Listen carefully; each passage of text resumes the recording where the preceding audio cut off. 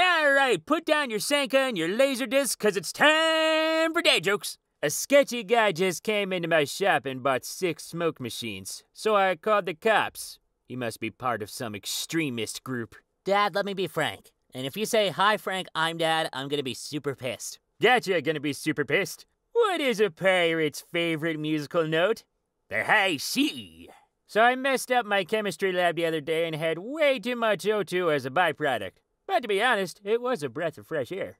What do you call an Irishman flying an airplane? Aerodynamic. How do you turn T into P? Eh, drink some and wait a few hours. My wife hates it when I mess with her red wine. I added some fruit and orange juice. Now she's sangrier than ever. Why does Reddit have two Ds? The second one's a repost. Did you hear about the guy who killed a man with a book? He was sentenced to death. I broke my finger at work today. But on the other hand, everything is okay. Next time your wife is angry, give her a towel as a cape. Then say, Now you are super angry. She might laugh. You might die.